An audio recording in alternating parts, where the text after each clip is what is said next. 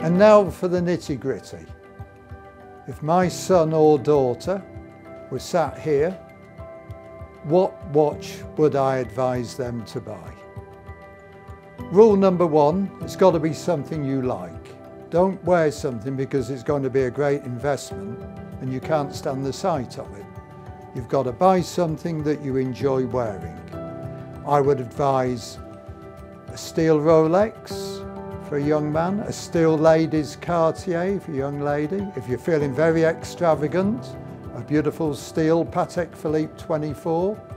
But these watches must be wanted and enjoyed. If they give you this great pleasure wearing them and you can enthuse about them, then that's the watch for you.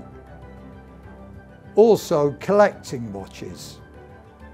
I tell all our serious collectors once a year to go through your collection, analyse it, and if there is a watch or a couple of watches that you've gone off or you don't want to wear anymore, trade them back in.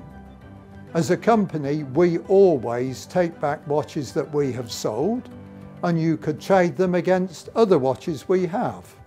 It's a form of fine pruning but it's a way of getting enjoyment once a year from just seeing your collection improve and also for wearability, still a great, great fun thing to do.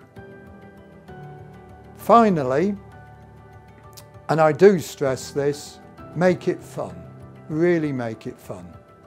Don't just get pulled into what watches certain people wear and you want to do it. Go with your heart. Wear what you like, what appeals to you, and then your true personality comes out in the watch.